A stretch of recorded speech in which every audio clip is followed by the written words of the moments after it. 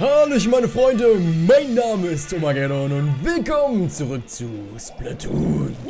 Oh ja. Gut, ähm, ich habe mich einfach mal zu einer Aufnahme jetzt entschieden. Die, die, werdet ihr bestimmt in drei Stunden schon ungefähr sehen, wegen... Eigentlich wollte ich heute nur einen Part rausbringen. Sprich, das neue Projekt Mario Kart 8, äh, Community Battle, aber dadurch, dass ich einfach extremst gute Laune habe, ähm, dachte ich mir, komm, wir können heute noch ein paar raushauen, dürfte nie schaden. Gute Laune zu verbreiten, schadet niemals. Ja, ja, ja, ja. Und eigentlich wollte ich ja gestern schon, also gestern Abend ein Part aufnehmen. Allerdings, ach so, wir haben so ein Schutzschild so gesehen. Ähm, hatte ich ehrlich gesagt gestern Abend keinen Bock mehr. Es wurde relativ spät, also von daher habe ich das Ganze schon gestern Abend gelassen. Und deswegen nehme ich den Part jetzt einfach jetzt auf. Und zwar habe ich ein bestimmtes Thema mir gestern so überlegt, was man besprechen könnte. Ein Thema, was ich schon so ein bisschen im ersten Part auf jeden Fall angesprochen hatte. Und zwar generell die Individualität der heutigen Schüler. Komm her, du Popo. Schießer, du äh, Asiate, der mit seiner Tinte hier herumschießt wie ein äh, Kokonoshi. Bitte Kokonoshi, mach doch irgendwas, Dankeschön. Meine Fräsen, das Internet von anderen kann doch nicht so schlecht sein, oder? Oder ist jeder bei der Telekom und einfach nur schlechtes Internet? Ich habe keine Ahnung. Naja, auf jeden Fall, ähm, das Thema, was ich... Oh, geh doch weg, Mann. Ich habe eine höhere Reichweite. Als wenn er mich bekommen hat, naja. Thema Individualität, sprich ähm, generell Notenvergebung etc. Und dazu habe ich einfach mal eine bestimmte These im letzten Part aufgestellt. Und zwar diese These, dass Noten nichts... Warum? Ich verstehe das nicht. Ich habe doch eine höhere Reichweite. Naja, auf jeden Fall, ähm, das Noten... Alter, jetzt... Junge, Alter, ich werde seine ganze Sippschaft durchnehmen. Weg, ganz ehrlich, Dankeschön. Ähm, und zwar, dass Noten nichts über dich aussagen. Und darüber wollte ich halt einfach mal so ein bisschen diskutieren mit selben Beispielen etc. Ist halt nur ein kleines Thema, weswegen ich das nicht in der Mario Kart 8 Themenrunde besprechen würde. Sehr schön. Und zwar, ähm, generell These, Noten sagen nichts über dich aus. Inwiefern stimmt das? Äh, meines Erachtens nach zu 100%. Wegen ich kenne einfach sehr viele, die im Endeffekt sagen, dass Schulnoten einiges über deine Intelligenz ausmachen und viele äh, kenne ich auch noch, die dann sich total fühlen, toll fühlen, intelligent fühlen, wenn sie eine gute Note schreiben. Aber Schule hat im Endeffekt, ich will nicht sagen, dass Studien das bewiesen haben, weil Studien meines Erachtens nach viel Müll labern, wenn der Tag lang ist, wie zum Beispiel am 21.06., weil das der längste Tag des Jahres ist. Ähm, ist einfach so. Wegen zum Beispiel eine Studie hat berichtet, dass Schule im Endeffekt nur die, äh, das Gedächtnis überprüft. Was man aber auch nicht so speziell in allen Dingen sagen könnte, weil, oh, bleib doch hier, meine Fresse, ey. Ähm, weil Schule doch in manchen Dingen das Log in manchen Dingen zumindest das logische Denken in irgendeiner Form braucht. Ähm, zum Beispiel Biologie ist ein Fach, wo man in der Oberstufe sehr viel logisch denken muss. Das merkt man auch immer wieder mal ähm, in Bio-Klausuren. Wegen Bio-Klausuren bekommt man häufig mal normale Gedächtnisfragen bzw. Gedächtnisabfrage, Aufgaben, wo im Endeffekt das Gedächtnis abgefragt wird. Das, das sagt doch schon der Name. Aber den Namen habe ich mir gerade ausgedacht. Aber du musst halt einiges lernen für eine Bioklausur. Aber dann besteht im Endeffekt der nächste Aufgabentypus darin, dass du mit deinem jetzigen Wissen so gesehen kombinierst und sagen kannst, warum das in der Aufgabenstellung so ist. Und das ist zum Beispiel wieder was logisches Denken in irgendeiner Form benötigt mit jetzigem Wissen. Aber generell kann man sagen, Schule besteht eigentlich nur darin aus Auswendiglernen und aus Abrufen der Informationen. So, äh, nächster Kampf, kurz aufs Handy geguckt, Professionalität pur wieder hier am Start. Mm, wegen, ich kann es immer nur so an eigenen Beispielen nennen, aber wir gucken uns einfach mal verschiedene Klausuren, aka Arbeiten an. Und ich finde, die sind einfach immer das perfekte Beispiel, dass man da einfach merkt, wie stark es einfach aufs Gedächtnis bzw. darauf ankommt, ob man lernt. Wegen die Intelligenz wird ja eigentlich kaum abgefragt in der Schule. Normalerweise, wenn die Intelligenz in irgendeiner Form abgefragt werden würde, wie zum Beispiel in vielen Klausuren, dann müsste man ja in der Theorie gar nicht lernen, weil Intelligenz etwas ist, was man ja sich doch antrainieren kann mit Allgemeinwissen. Und Intelligenz hat doch einiges auf jeden Fall zu tun mit ähm, Wissen, beziehungsweise Wissen sammeln. Aber ich, wir gehen einfach mal zu verschiedenen Klausuren rüber. Ähm, ich versuche mal im Endeffekt mit Inferno abzuschießen. Das dürfte klappen. Wir gucken uns Klausuren an. Viele Klausuren sind gleich aufgebaut. Wie zum Beispiel in der Oberstufe ist es so, in Deutsch- oder Englisch-Klausuren, man hat immer wieder die gleiche Struktur. Also du musst immer wieder dasselbe beachten und immer wieder dasselbe hinschreiben und immer und immer wieder, um halt immer wieder diese Punkte zu sammeln. Und das ist ja auch im Endeffekt wieder ein Zeugnis dafür, dass man einfach immer dasselbe machen muss und dass du im Endeffekt immer wieder dasselbe lernen musst. So, kleines Schutzschildchen, damit die hier nicht rüberkommen können. Schutzschild wurde jetzt schon weggesnaggelt. Komm her! Ja, sehr schön, dass ich ihn. Oh, da hat er mich schön überrascht. Das muss ich auf jeden Fall zugeben. Ist ein Beispiel dafür, wenn ich mir zum Beispiel meine Deutschklausuren angucke. Meine erste Deutschklausur, muss ich zugeben, war eine 4 minus. War nicht sonderlich erfolgreich, aber jetzt bin ich halt schon echt bei äh, 3 plus angekommen und das wird auch noch besser. Weil zum Beispiel Deutscharbeiten ein sehr schönes Beispiel dafür sind, dass man eigentlich im Endeffekt nur auswendig lernen muss, beziehungsweise die Struktur erkennen muss und immer wieder diese eine Sache beantworten muss und beziehungsweise können muss. Und das ist einfach kein Indiz dafür, dass man intelligent sein muss, um gute Noten zu haben. Es gibt auch so viele, die einfach äh, mit guten Noten protzen. Kann man machen, weil gute Noten meistens ähm, ein Zeichen dafür sind, dass man sich äh, Mühe gegeben hat und dass man viel Zeit investiert hat. Das kann man auf jeden Fall... Den sollte ich doch hier kommen, oder? Das kann man auf jeden Fall so speziell sagen. So, einmal kurz Inferno rüber.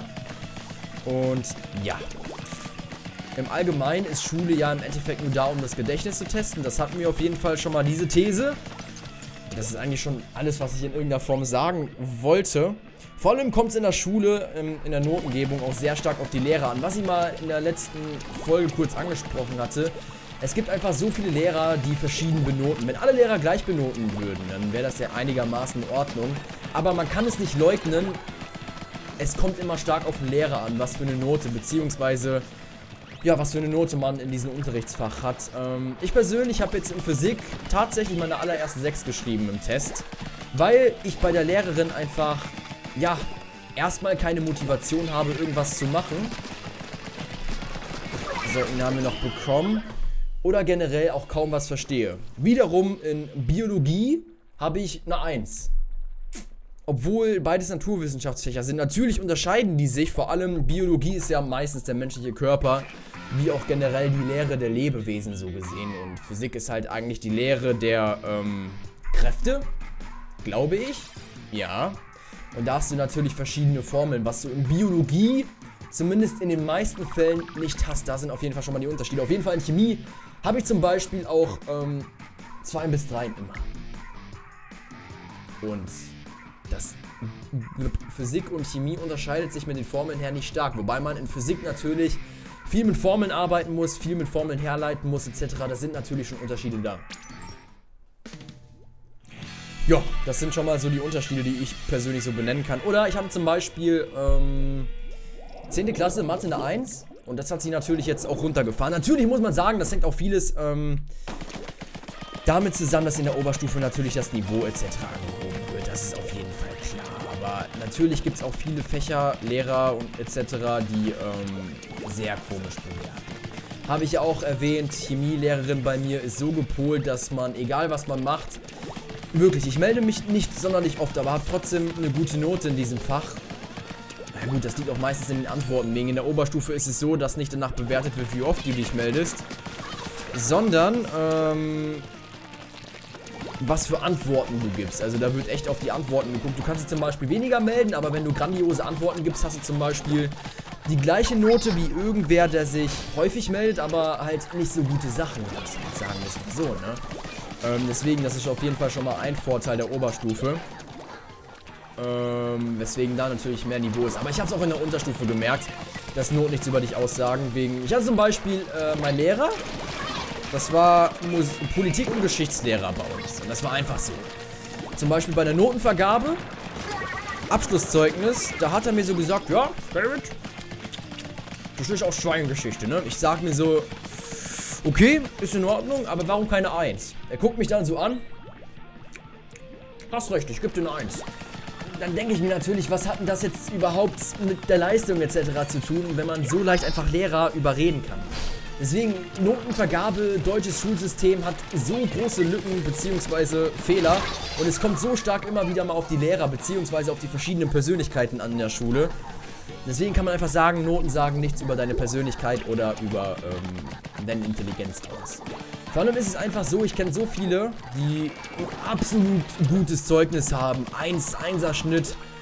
Aber die haben einen Charakter bzw. eine Ausstrahlung wirklich von einem Toastbrot ungefähr. Genauso sympathisch, okay. Man kann natürlich ein Toastbrot sehr sympathisch finden. Aber ich glaube, ihr wisst schon einigermaßen, worauf ich hinaus will.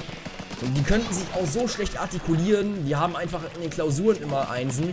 Aber im Unterricht wiederum trauen sie sich überhaupt nicht zu sagen oder so.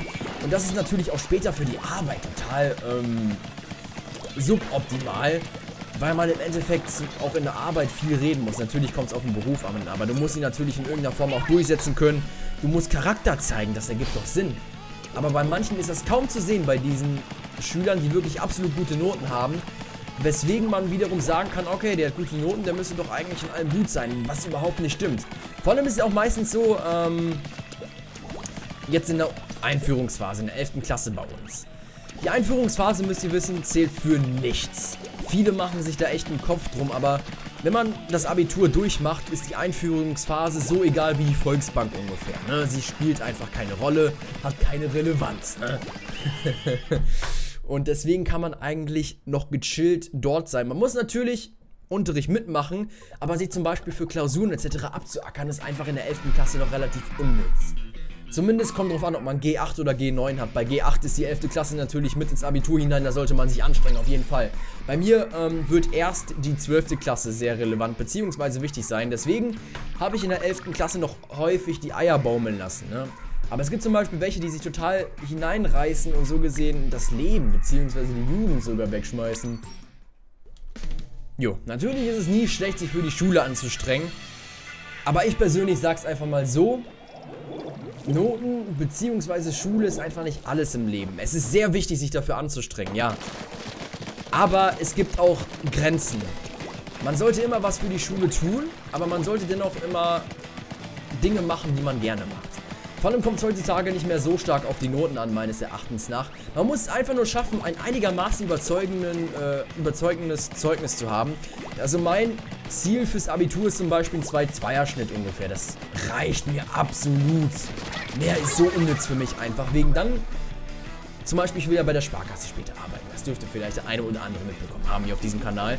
Ähm, wird man natürlich zum Vorstellungsgespräch eingeladen. Ich denke mal schon. Und dann kann man beim Vorstellungsgespräch natürlich ähm, wirklich überzeugen. Damals in der 9. Klasse hatte ich ja ein Praktikum bei der Sparkasse. Und da hat er mir auch gesagt, ähm, er hat schon viele gehabt, also der Chef der Sparkasse, ein absolut geiles Zeugnis hatten, aber beim Vorstellungsgespräch überhaupt nicht überzeugt hatten. Aufgrund von nur Nervosität ist normal, aber weil sie charakterlich auch irgendwie keine Präsenz gezeigt haben, nichts Besonderes waren, irgendwie, weiß ich nicht, ja, nicht überzeugend waren. Das wurde mir halt gesagt. Und da meinte er so, ähm, dass es sogar häufig vorkommt, dass man tatsächlich welche mit einem schlechteren Zeugnis einlädt und dann guckt, wie die charakterlich draus sind. Weil es halt echt nicht aufs Zeugnis ankommt. Vor allem Abitur heutzutage wird ja auch immer weniger wert, weil einfach jeder Abitur machen kann. Miguel Pablo macht Abitur. Guckt es euch an. uh, Punchline, Beef incoming. Und das ist auch einfach so. Also das kann ich echt nur jeden einzelnen Tag bestätigen vielen Situationen einfach. Ah, da hat er sich durchgesneakt, da hat er mich leider mitbekommen. Okay, mit meiner Waffe sollte man auf gar keinen Fall ähm, in der Nähe kämpfen. Da sollte man auf jeden Fall aufpassen. Naja, Freunde, ich glaube, ich habe das meiste so hier beredet. Manchmal kann man natürlich auch Themenparts hier machen. Vor allem, wenn es halt ein bisschen Rangkampf ist. Also von daher optimal, Freunde. Ja, ich hoffe, euch hat der Part einigermaßen gefallen. Vor allem das Thema, eure Meinung dazu, wie immer gerne unten in die Kommentare. Ähm, boah. Wenn hier alle rumlenken, ey. Das ist absolut ekelhaft. Ja, komm doch. Äh, da werde ich wohl eingekesselt. Wie ein Kessel von einer Hexe. Ja, huhuhui. Wir müssen noch ein bisschen in der Mitte einfärben. Sehr schön, den haben wir noch mitbekommen. Kurz ein Tinferno abschießen und noch ein paar Punkte zu snaggeln. So, ihn konnten wir auch noch erfolgreich abschießen. Ja, das sieht doch einigermaßen gut aus. Vor allem am Ende sollten wir, glaube ich, noch... Oh, Nasi juckt ganz hart. Noch einiges eventuell rausholen können. So, die hohe Range der Waffe gibt uns auf jeden... Dass ich ihn noch mitbekommen habe, ne?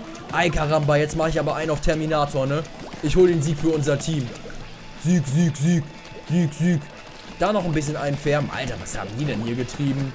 Ja, das, das sah auf jeden Fall sehr erfolgreich aus hier. Ich glaube, das war der nächste Sieg. Naja, Freunde, wie gesagt, eure Meinung zu diesem Thema gerne unten in die Beschreibung hinein.